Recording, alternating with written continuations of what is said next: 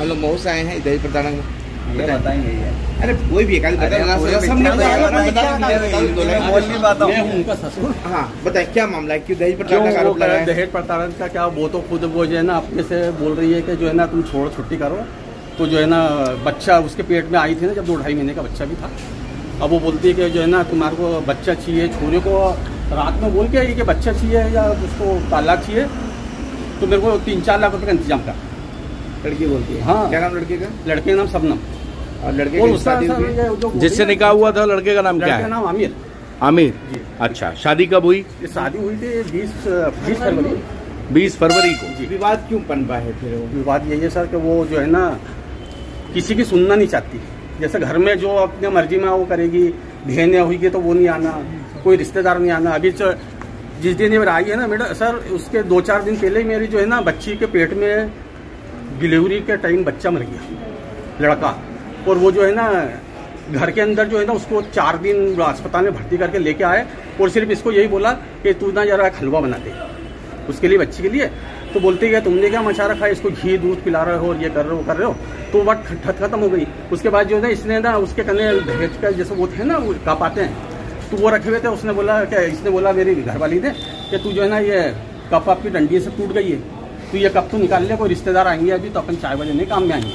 तो बोलती कि मैं, मेरे ये जो है ना, सामान नहीं दूँगी। और उठा के इसने वो जो पलंग पेटी थी ना, उसमें सब रख दिया दहेज का सामान वामान कि मैं मेरे इसके अंदर सामान में हाथें लगा दूँगी। तो इसने बोला कि तू काय के लिए लेके आइए सामान। अपन इस्तेमाल भी तो करेंगे। बस वही बात पे जो विवाद हुआ तो विवाद बढ़ते बढ़ते फिर उसने ना इसके भाइयों को फ़ोन करा रात में। वो भाई सुबह आया दस बजे बैग लेके बड़ा सारा। बैग में सारा सामान और ये वो जेवर वेवर सब भर भुरा के और यहाँ तक के जो पुरानी चप्पलें थी ना वो भी रख के और ये जा वो कहाँ की है लड़की? ये यहाँ पे क्या है सर ये पत्थर पत्थर पेड़ के पीछे की। अच्छा। उसके पीछे की तो अब क्या थाने में क्या मामला चल रहा है थाने में? थाने में क्या हो रहा है ये थाने? बुलाया था हमने बोला कभी समझो मतलब आपकी शिकायत कर दी। हाँ शिकायत कर दी सर हमारे को तो मालूम ही नहीं था शिकायत कर दी। और चार महीने शादी को हो गए चार महीने में उसके परिवार के एक भी घर के लोग नहीं आए कभी देखने। चार महीने में के वो उठवा लूँगी और ये करूँगी यानी कि अपन तो बोलते नहीं इतनी बुज़ुर्ग है सर के घर के किसी को किसी की चलने नहीं देती है कि। अपन जैसा कुछ बोलो तो समझ लो कि वो अपने पे छाती पे सवार हो जाएगी। रही मारने की अभी आप देखो ना वो भाई भी और उसके घर वाले भी ऐसे हैं कि वो कभी सुनते ही नहीं कि कभी आके उसने ऐसा बोला हो कि भाई किस बात की लड़ाई हो रही है या कभी समझाएँ या कुछ कर रहे हैं। दो चक्कर आ गई और दो चक्कर में अभी आई है ना तो वो भी दो, दो चक्कर जो है ना उसके भाई लेने आए सिर्फ़ उसको। दस मिनट के लिए अंदर जाएँगे सामान भरेंगे और आ जाएँगे। ऐसा नहीं कि अपन कम से कम उसके बाप ने एक बार भी एक बार भी ऐसा नहीं बोला उसके बाप ने या उसके घर वालों ने कि किस बात की लड़ाई होती है। कि अपन उसके घर पे जाके समझाएँ या उससे पूछा ताछी करें कि ये करें, वो करें। उसके बाप जो है ना सर, किराए के मकान में रहता है। उनका घर जो है ना किराए के मकान में है। वो ड्राइवर है। एक भाई जो है ना मजदूरी कर रहा है। और हम ऐसे लोगों से दहेज मांगेंगे, मेरा बाप जो है ना भूतपूर्व सैनिक है। भूतपूर्व सैनिक के घर के लोग हैं सर हम।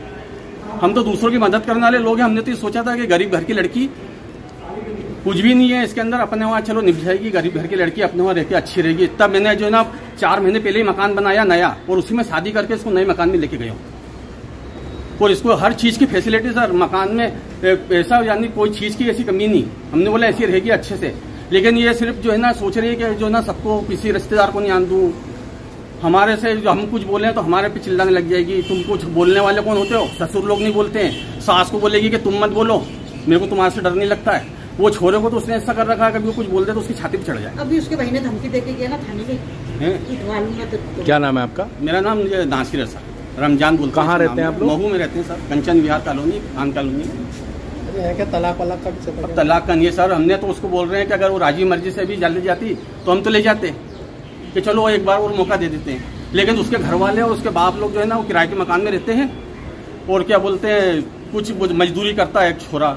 और वो ड्राइवर है वो ये तो सोच रहे हैं कि कुछ दो चार लाख रुपए लेके कैसे भी इनको ब्लैकमेल करो वो दो चार लाख रुपए इनसे लो। वो मकान इन्होंने देख लिया। सर हुआ क्या है कि एक चक्कर मैंने ऐसी मेरे मुँह से निकल गया था कि ये मकान जो है ना मैं अपन बेच के बहुत बड़ा मकान बनाया सर ने बीस चालीस के प्लाट पे। तो मैंने बोला यार ये एक तो छोरा है और ये इतना बड़ा मकान अपन क्या करेंगे? तो अपन एक काम करते हैं बेच देते हैं। और मैंने बोला जो है ना छोटा मोटा मकान ले लेंगे और वो जो है ना अपन कोई धंधा वंधा खोल लेते हैं। ये छोरी ने सुना है उसके तीसरे दिन से तो इसने लड़ाई चालू कर दी। मकान बेच कि मकान बेच रहे हैं और अपन कुछ भी ले मरो। ये बिल्कुल सर अगर इसमें कोई हकीकत अगर कोई भी झूठ बात हो तो मैं तो बोल रहा हूँ मैं फांसी पे चढ़ने को राज़ी हूँ हमारे घर में इतनी सी तकलीफ़ नहीं सर इसको। ठीक इनके आपके समधी का क्या नाम? समझी का नाम है सर वो अब्दुल मजीद। ड्राइवर है सर वो अपना नाम छोरा जो है ना यहाँ पे वो हमाली करता है। ठीक है। और कुछ भी है किराए के मकान में रहते हैं सर। जी हाँ अब दांतों की बत्तीसी की समस्या से पाए निजात। बार बार बत्ती से निकालने और बैठाने की झंझट से पाइए मुक्ति। अब फिक्स बत्तीसी इम्प्लांट के द्वारा लगवाएँ अपने ही शहर खंडवा में। जब डॉक्टर दिनेश गुजर हैं तो टेंशन किस बात की? अधिक जानकारी के लिए संपर्क करें Gujar dental clinic Panthana road, Khandwa.